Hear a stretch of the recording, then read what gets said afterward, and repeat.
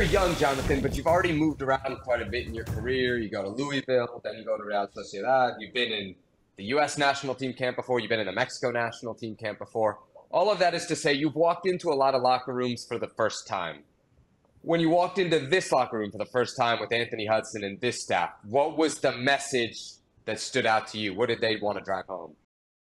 The message from Anthony Hudson and his staff, well, part of his staff is actually Mikey Varas, the under 20 coach, who I've obviously been working with, but it was to kind of kind of what I said to uh, take advantage of the opportunity um, and have fun. I mean, that's obviously we're all here because football is our passion and we all want to have fun with it. But yeah, it was to, to take advantage of the opportunity. Um, don't put pressure on yourself and just enjoy the moment. Speaking of opportunities, you're one of the players, many now, that have the opportunity to play for both the United States and Mexico. Let's start with something that comes up a lot on this show when Herculez Gomez talks about it. He says that for all of you guys that are of the age that are Olympic eligible, the fact that the U.S. has Olympics and an under 20 World Cup in your case uh, is a very important part of the decision making process. Do you feel that that's true?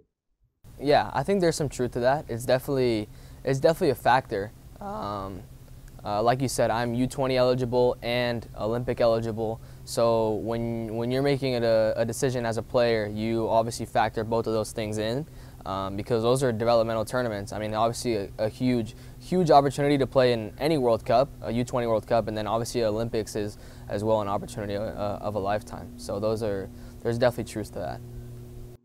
You know, and and I know you know about this because you grew up in Texas, so you know about high school football and getting recruited to colleges and the big colleges. I kind of imagine you a little bit as a recruit. You, you, have been into the Mexican national team camp. You're now at the U.S. camp. Uh, what's it like being in the camp in this phase where, I don't know, maybe the guys there are kind of trying to convince you to, to join the program? Uh, um, yeah.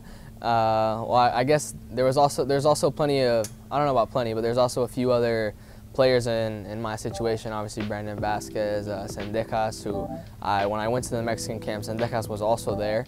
Um, so I, I, I, spoke I spoke to him a little bit about it.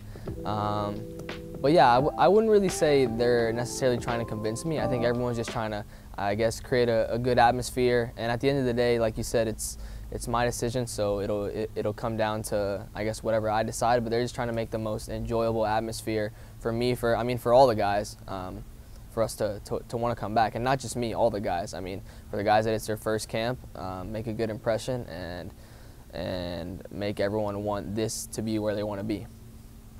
You're one of the few guys that's been in both camps at the senior level. What's the difference? Or what are some of the differences? Well, the language. um, I wouldn't say there's too many differences, to be honest. I think, uh, well, I guess this camp has been shorter, um, and there's been two games, so the focus has more been has been more on the games um, I would say when I went with the Mexican national team, there was a, a, a, big emphasis on, on the game that we played against, against Guatemala.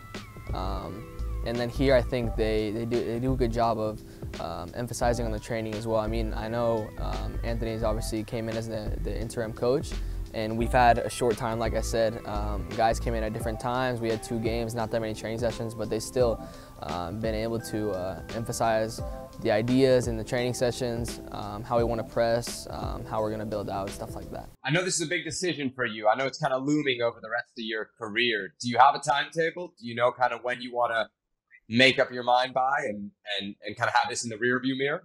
I wouldn't. I wouldn't say there's a timetable. I, I, and I don't think I pressure myself to that decision at all. I think it's just. I mean, as of right now, enjoy the moment that I'm here with the U.S. national team. Take advantage of this camp, and then after go back to my club. And ultimately, if I don't do my job at my club, there's not going to be national team opportunities. So I need to do my job there, and, and then from there we'll we'll, we'll see. So I, I wouldn't say there's a there's a specific timetable or, or any I guess clock that's ticking in my head like oh by in a year I need to make this decision, etc. Let's talk about your club. How are things going at Real Sociedad? You've been there now quite a while. Yeah, I've been there. I got there in January of 20, 2022, so I've been there just over a year, 13 months, and I would say it's going well. Um, I'm really happy at the club. Um, uh, obviously on the field as well as off the field. Off the field, I feel like the, my adaptation process has gone well. Um, I was able to get a car. Um, I have a good living situation, so all that stuff I'm happy with, and I think I'm, I'm progressing well as a player. Um, the club has a has a really good setup, and and yeah, I'm I'm happy to be there and hopefully continue to develop.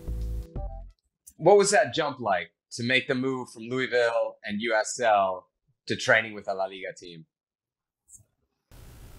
I think mentally, I, I think I prepared myself mentally for it because um, because I knew it was going to be a, a, jump in, obviously, the level, and there was obviously going to be outside factors um, like time change, just stuff like that. But I think more stuff off the field, uh, my brother prepared me for, who's obviously been in Europe longer than I have.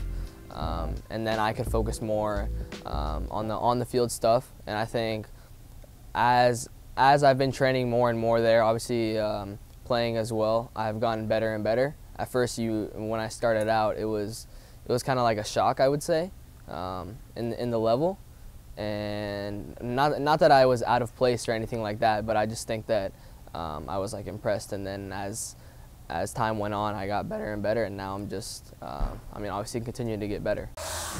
Well, thank you very much for watching ESPN on YouTube. For more sports highlights and analysis, be sure to download the ESPN app. And for live streaming, premium content, and let's not forget as well, ESPN FC, seven days a week. Subscribe to ESPN Plus.